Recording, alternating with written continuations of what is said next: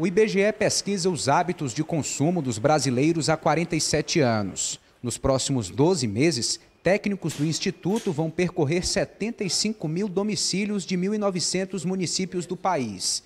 Os agentes de pesquisa estão devidamente identificados com o crachá do órgão e treinados para entrevistar os moradores. As perguntas e respostas são armazenadas eletronicamente em um banco de dados. São perguntas relacionadas é, a características de habitação, é, consumo das pessoas, é, relação dos moradores. São perguntas simples. Durante é, nove dias são, são realizadas essas perguntas de todos os gastos da família. Entendeu? Zonas urbanas e rurais serão visitadas. No Piauí, mais de 2 mil residências de 62 cidades estão incluídas no levantamento, que deve apresentar o perfil dos gastos das famílias. Nós estamos visitando a partir de hoje é, 2.007 domicílios no Piauí, com o objetivo de conhecermos as despesas de alimentação e as receitas que as famílias estão oferindo. Esses municípios eles são avaliados de forma aleatória é, dentro do Estado e também levando um pouco o peso de representação de cada município tem.